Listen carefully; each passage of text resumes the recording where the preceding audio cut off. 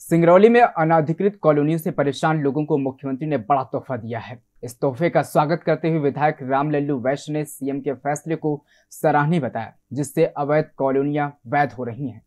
सिंगरौली नगर निगम क्षेत्र की नौ अनाधिकृत कॉलोनियों को वैध घोषित किए जाने पर सिंगरौली विधायक राम लल्लू वैस ने कहा कि प्रदेश के मुख्यमंत्री शिवराज सिंह चौहान की कॉलोनी को वैध करने की घोषणा से अब इन कॉलोनियों में पानी, बिजली, सड़क जैसी तमाम सुविधाएँ आसानी से उपलब्ध कराई जा सकेंगी।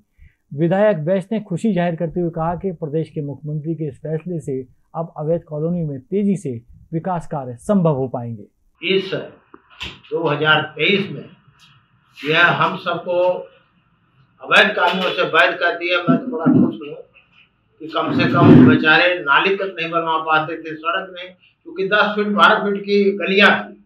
और आज वो सौभाग्य आने वाला समय अब सुखद होगा। सबका स्वास्थ्य सबका विश्वास, सबका विकास होगा। मध्य प्रदेश की महिलाओं के आर्थिक सशक्तिकरण के उद्देश्य से संवेदनशील मुख्यमंत्री शिवराज सिंह चौहान द्वारा मुख्यमंत्री लाडली बहना योजना का उपहार सभी पात्र महिलाओं को दिया गया है। इसके तहत उन्हें प्रति माह एक हज़ार रूपए दिए जाएँगे। ये राशि सीधे उनके बैंक खातों में पहुंचाई जाएगी। योजना की प्रक्रिया बेहद सरल और निशुल्क है।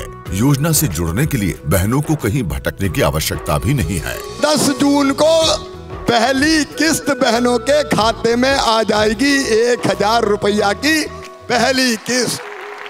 योजना से जुड़ी अधिक जानकारी helpline number zero seven double five two seven double zero eight double zero एवं website C M Ladli Behna dot M P dot G O V dot in पर प्राप्त की जा सकती है। चलो बहना। वो खबरें जो आपके काम की है। वो खबरें जो आपके लिए ज़रूरी है। हर आम और खास से जुड़े मसले। हर मसले का सटीक विश्लेषण। हम करते हैं सत्य का अन्वेषण। दखल न्यूज़। आपके हक में। आप देख रहे हैं दखल न्यूज़।